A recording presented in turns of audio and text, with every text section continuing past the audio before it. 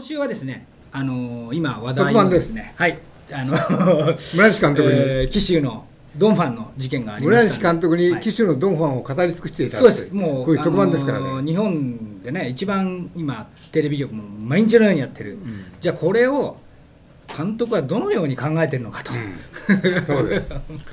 どうしても監督の意見を聞きたいと。そうですね、一言だけあ例の例のやつをはどうぞ、申し訳ございません、はい、どうぞ。お待たせいたしました、はいお待たせしすぎたかもしれません、はい。昭和最後の榎本氏村西徹でございます。よろしくお願いいたします。どうも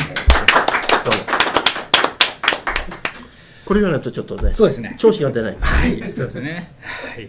どうですか、騎手のドンファンっていうネーミングは？まあ騎手の動画ってね、うん。みんな騎手のドンファン、騎手のドンフまあね、ァンって。えー。花さんはね、あの金で解決してたら、ドンファンじゃないじゃないかドンファンっと。ていうのは、まあおおっしゃる通りですね。持っててないじゃないかと。だからお金でモテたっていう感じなんでしょうけどね、そうみんなの興味というのは、まあ2つに分かれると思うんですよ、まずその男の人たちははい、現実的にあの75、6になったお父っつぁんが、はい。ね、76、7になったお父っつぁんが、はい。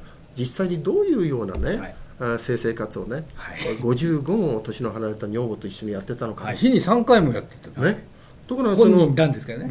本人、はい。ところがあの奥さんから言うとね、性生活はなかったと、まあ、奥さんのこのボーイフレンド、おいわば例えばホストクラブのお兄ちゃんかどうか分かりません、はい。い、るかどうか分からないけど、はい。それに気遣って、将来のことを気遣って、ね、週に3回ほど、ね、やってました、週に5回ほどやってましたと言える立場じゃないから、夫婦生活はなかったとおっしゃってるのかもしれません、これは闇なんだけね。ね。まあ、しかし、我々にとっては、まあ、特に私たちとかえ編集長、お同じ同世代の人間にとっては、やろう本当にどの程度のことをどんな密度でやってたのかと、私は自分の性生活をご開帳しておりますから、ね。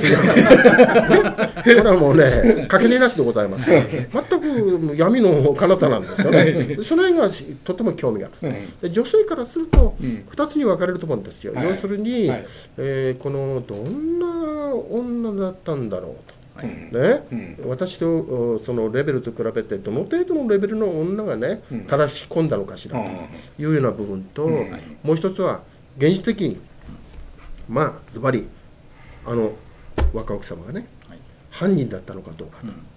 いうようなね、えーこういう興味がある、だから女性たちがそういう興味があるんだけど、野郎どもはね、本当に実際どんなセックスをしてたのかと、性生活の方に興味があって、犯人探しなんかどうでもいいという だからね、あのこの 現実にね、テレビなんかでもって顔にこうブロックがかかってるでしょ、はい。モザイクの方は。あれはいいんですよ、週刊新潮だけは出してる。これ、週刊新潮、これ出しちゃうとね、誰も見なくなっちゃうよ、テレビ。あ、そう。ね、なんだと、みんなのイメージの中では、んね。吉永小百合様の若き頃、はい。石原さとみちゃんとか、はい。ね、あれあれはそういう北川景子ちゃんのイメージで見てんだ、だあからこういうそのはっきり言いましたら、でも結構美人じゃない。あまあ、これね、まあ、編集長のお好みかもしれません。いやいやこれ ねこれ、業界の人だから、彼女も。は業界で4いやそう本、ね4本、5本出てるんだけど、ね。業界から言うと企画なのよ。企画？ね、単体と企画ってあるんですよ、はあ。はあね、大体単体というのは50万から100万以上のギャラをもらう、はあ。でにあまあ、100万、200万、300万っていくんだけど、はあ。大体企画ってのは上限で20万止まり、普通5万からはあ。10万、せいで言っても15万がなんですか企画っていうのは？企画ものって言ってね、うん一つの作品にうん5人、6人ぐらい出て、はい。若妻シリーズと、うん。ね、あるいは素人が街で声かけられてナンパをされましたっていう、うん。うんこういう企画。でうん。企画はいでそこに5、6人一緒に出るというのが企画。一本で作品ね、うん。あの岐阜に侵されてとか、ええ。ね。うん。あの要するに女教師を、ね、放課後のね、あの教頭との日々なんというような、非常にこのアカデミックな作品じゃないの、もう全員集合みたいな、鬼の国にして。これを企画ものって、ね。ワンドル全部なんですそう。いはいで大体これがギャラってのは10万から。ああ、名前で呼べるタイプじゃないっていう。あまあそういうことですレベル的にもね、これはいい悪いじゃないですよ、業界のレベルですよ、業界のレベル的ではまあ企画の。この人はあのーさっきさんって言うんだけど、ね。業界のレベルでは企画ももの。なんだよね。ね。これはあの人間性だとかね、女性としてという意味じゃないよ、業界から言うと、まあ、吐いて捨てるほどっていうか、ね、一般的に言うとお呼びじゃないと、またいらっしゃる。逆に今その、結局これを見つけるやつがいて、見つけ出すやつがやっぱりいて、人気が出てるっていう話です。まあそうですね。だから要するに知名度が上がったから。彼女なんかこれからね、まあその犯人ごっこ終わってしまえば、新しい道が開けていく。ね、すぐこう新しい道だとね、ストリップ劇場にこう走ってしまったりするんだけど、ちょっとお待ちなさいと、メディアに出て、ね、容疑者と言われた女と、こういう言い方あるんですよ。ね、夫殺しと疑われた女と。こういうね、いやこういう言い方をね極めていられたら、これはね、え下手のタレントなんかはね、あの寄っていけないぐらい爆発するよ、そうですね、そう。いうプロモーション私はね、してあげたいと思う、一声かけてほしいと。監督としては、これは、いじれる。あの私がね、えー、彼女と一つね、えー、撮影をして、はい、ね、はい、彼女の赤裸々な部分というのをね、はい、撮ることによって彼女はもっとねステップアップするね。それはまあそうだね。あこんな多面的なね、こんなね、えぐい女性だったのかということをね、私がね。彼女を知らしめて世の世間の皆様にしてあげたいと思う。だからねぜひ彼女ね、下手な弁護士なんかご連絡をしてないで、ね私の方にご連絡いただいてね、こちらの月刊の編集部でいいんだから、ね。連絡ください。お待ちします。そういうことでやってあげた方がいいと思いますね毎日すごいニュースね。朝から晩までそうなんですよ。これはね、テレビでね一回このね若奥様の顔をバンと出すとね、一気にトーンダウンしようと思うんだけど。あのテレビ局はね あれやってんだねまだブロックをね、徐々に徐々に1週間で薄く薄くして今度横側とかね,、ね唇のアップだとか、目のアップぐらいにしていて、ね、1年ぐらいだんだんだんこれで1年ぐらいか っていこうとしてんじゃないのこれ週刊ね新潮のようにこれ一発の週刊新潮だって、日本国民これ全部読んでるわけじゃないから。そうそう、ね？身長だけですよ名前と、あの実名と写真を出してるのは、私の知り合いの女の子のね、お父さんは、ね、週刊新潮のパッと見たら、もうあの、この問題に全く興味がなくなって、ね？もうどうでもいいやとなっちゃったって。ね？だからね、うん、みんなこう自分のイメージの中で初恋の人じゃあるまいし、うん、妄想してんのよ、うん、このね、あの若妻のイメージを、ね、あでもないこうでもないとね、でとんでもない妄想の世界に遊んでるから楽しいってことあるんじゃない、この新潮が出すっていうことについては監督はどういう判断ですか？あこれはもう時の人だから、うん、ね、これはもうだ本人にとってみてもね、うん、なんで出してもらって困るんですか？なんかそうなんだ。隠してる方がなんか怪しい人言ってるみたいなだからね、うん、これはね文句のつけようがないんじゃないですか、このぐらいのことやればいいんだ。ただね、テレビ局は商売だから、ね、少し次髪の毛を出してきたり唇出さない方がいいわけ、うん、そう。分かってやってるわけ。終わっちゃうから。出されちゃった困っちゃうだからもうあの一回パッとね家政婦も出したけどすぐねあの顔にモザイクかけちゃったでしょ？徐々にしかダメなのよ。もう当分これで食っていこうと思ってるんだから。もう盛りかけ問題もちょっとね下火になっちゃったしね。あと日大もそろそろねえっとあとこれしかねえなと。もうしがみついてんのよこれ。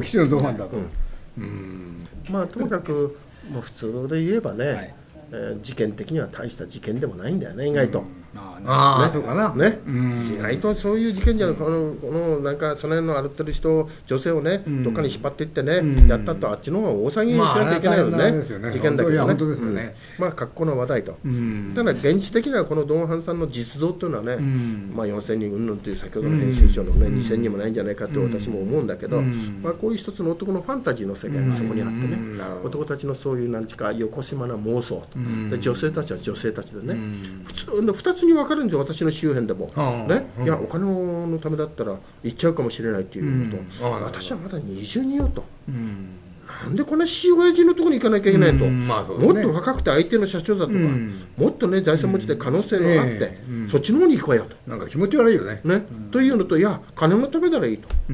そうか、ね、だからまあしかしやっぱりそういうふうにするためには相当きちんとした計画性がないとだめだから、うん、この2人にそういう計画ができるのかどうかって疑問なところがあるね。ね私はね、うん、この人たちは、ね、行き当たりばったりだと思うのよ。まあそうですね。だってね、うん、例えばそういうね、あのー、何イブちゃんに覚醒剤か何かね、やったら、後でバレるってわかるじゃないですか。まあまあそうですね。それで殺すって言ったらさ、もうはっきり、そういうことまでね思い至らないかもしれないね。うんもうそういうことを思い言ったのでもうやっちまえやっちまえで、はっと気が付いたら大変なことになったということが真相かもしれないし、先ほど私が一番最初に申し上げたように実は自作自演がこのドンハンで、うん。まあね私がおさらおさらばいたしましたっていうことがあるのかもしれない、そうするとこれはもう歴史上の人物になっちゃうよ、ドンハンも。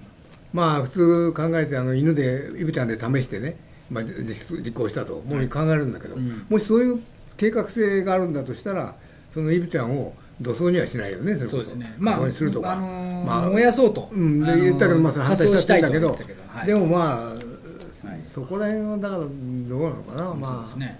あんまり企むような、いやまあ、できる知的レベルがなかととは思えねないからね。まず人を殺すそれ自体がさ、うんうん。まあ、知的レベルがないじゃないですか、まあまあうんまあね。その辺でもってやっつけられちゃったっていうことでね、うんこんなバカみたいなことをよくやったなっていう犯罪がたくさんあるんですよ、それは人殺しをしたりする時もあるんでね、よくぞこんなことで人を殺したなと、そのよくぞこんなことでっていうケースがあったりするんですね。うんその一つのパターンでくっとあと1年か2年、うんうん経ってみればね、あああんなあことがありましたねぐらいの本当はね事件なのかもしれない、ただほらメディアが、もう朝から晩までこれ騒いでないと、ね、朝から晩までこれ見てるのは奥様連中だから、まあそうだね。そうすると奥様連中はもう視聴者は奥様連中に合わせてね、はい。やっていかなきゃしょうがないから、ね、お親父たちだったら、まあ、まあ、なんだ、俺はもう週刊新潮で顔見たぞと、こんなの大騒ぎに値しないよと、なんだ、ドンハンもね、うんこの程度のレベルをてめえの女房にしたのか。って終わっちゃうんですよ、ね、終わっちゃうんで、奥様連中はそうじゃない、ね、私がもし若かったら、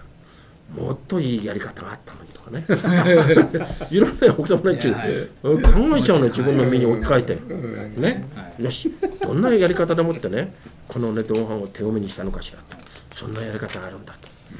私はもう年だからダメかもしれない。うん、でも、やりようによっちゃもう少し可能性あるかもしれないとかね。ね？